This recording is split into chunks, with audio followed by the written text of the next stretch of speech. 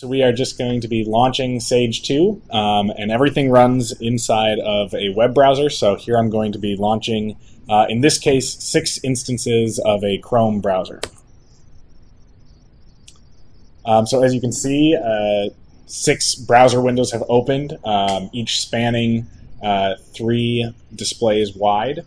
Um, so I only launch it here with the title bar so that you can see that it's uh, in a Chrome browser, but now I'm going to uh, make it full screen so that it's a seamless tiled display.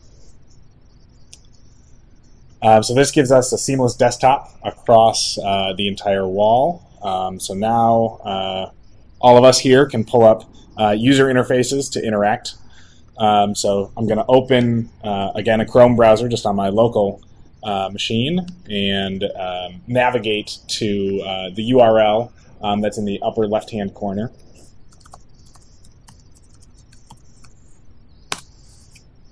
Uh, this provides a kind of an index page to all the um, clients that you can connect to.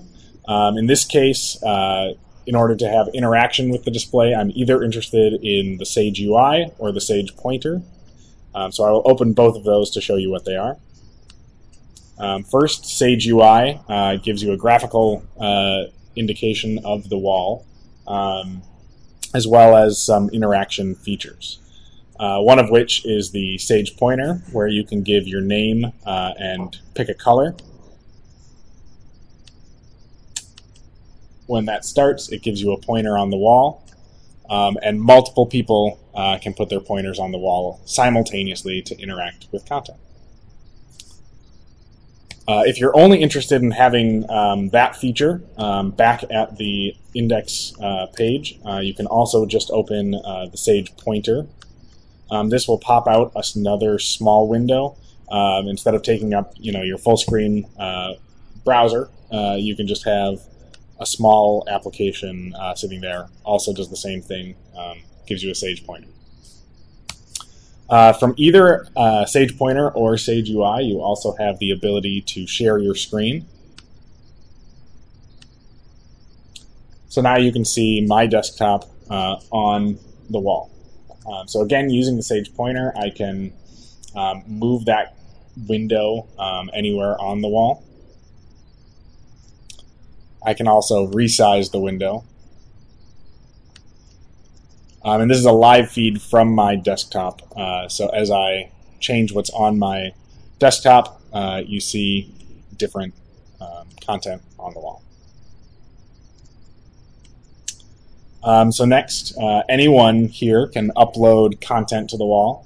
Um, so both in Sage UI and Sage Pointer, there is an area to uh, upload files. Um, so people can start uploading images.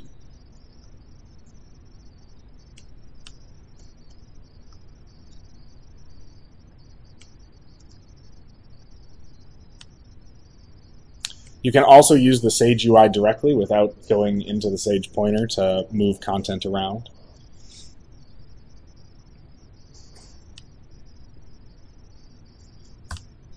Uh, the types of images that are supported are JPEGs, PNGs, TIFF files, bitmaps, and uh, Photoshop documents.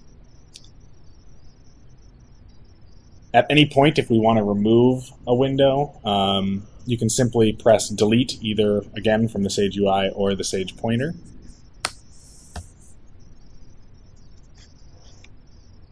Um, besides images, uh, Sage 2 also supports uh, videos, um, so any MP4 file uh, should play.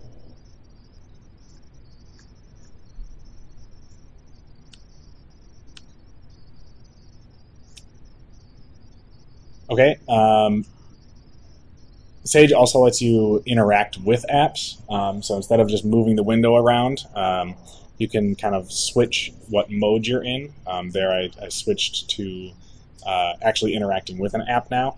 Um, so here for vi the video player, the spacebar is a play and pause.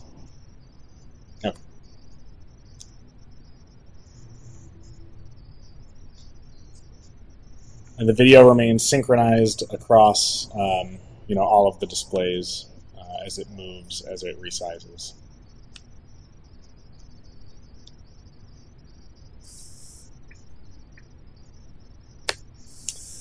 Um, other than images and videos, uh, this also supports PDFs.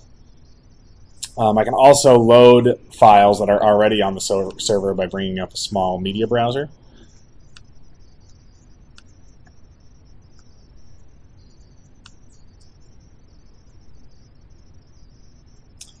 Uh, PDFs are rendered at uh, native resolution, um, so as I continue to scroll in, uh, the text gets um, higher and higher resolution, so it always stays clear. Again, uh, I can switch to interact with the app and use, in this case, the arrow keys to switch to new pages. Um, again, as I zoom in, uh, the text will re-render uh, to remain crisp.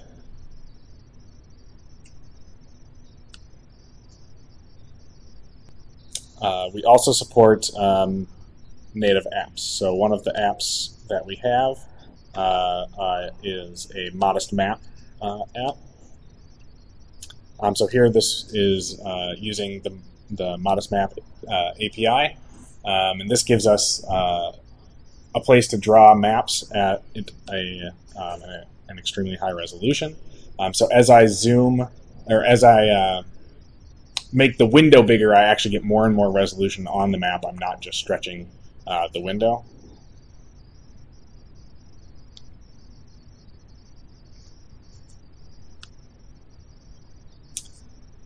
By default, uh, windows uh, resize in proportion, maintaining their aspect ratio. However, by holding down Shift, um, I get free rein, um, so I can make a really wide window or a very tall one.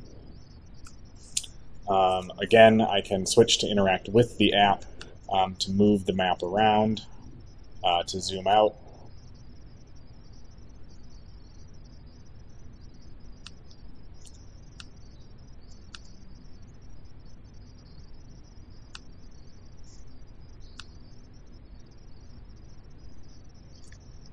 Sage 2 also has the ability to render uh, 3D graphics uh, with GPU acceleration.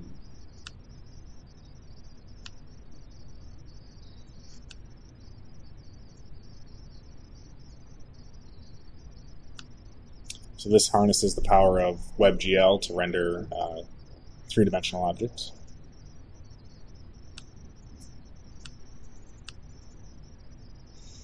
Uh, one of the other apps that we've developed is a uh, multi-resolution uh, image viewer. Um, so here, this takes uh, a very high-resolution um, brain scan uh, and streams in the proper resolution needed to render um, so as I zoom in, I will get more and more detailed images um, on demand.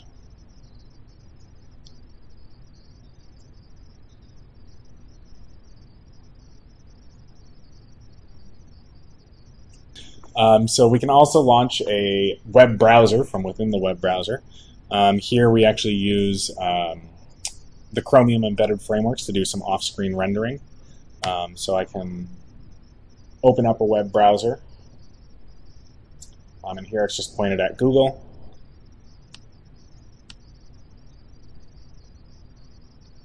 As I resize the window, it resizes the actual browser window, um, allowing me to get, uh, again, extremely high resolution browser content. This is not limited by the size um, of an actual physical display.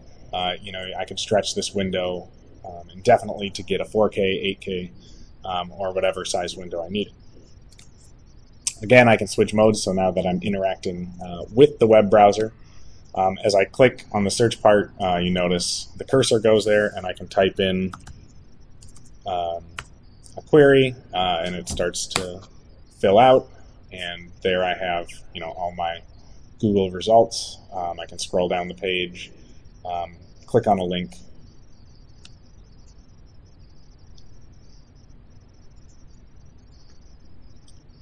And again, as I resize this browser window, I actually resize the content um, to get full resolution um, to the size that's being rendered. Sage 2 also supports integration with uh, third-party apps. Um, in this example, I will use the Google Glass. OK Glass, take a picture. Okay, Glass. Share this with Sage.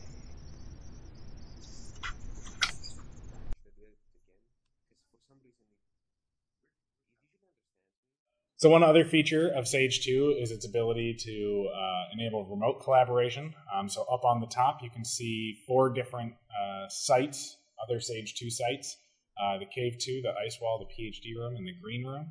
Uh, red indicates that it is currently offline, and green means that it is currently online. Um, documents can be shared between remote sites um, as long as they are both online. Um, so here I will um, give a demonstration of pushing um, both this PDF and this image uh, to the green room. Uh, so I can simply grab a document and uh, drag it so that I'm hovering over the site that I wish to share it with, um, release, uh, and it is now pushed uh, to the green room, and uh, the original document snaps back to where it came from. Um, I can now do the same with the image here. And if we go to the green room, we will see uh, appear.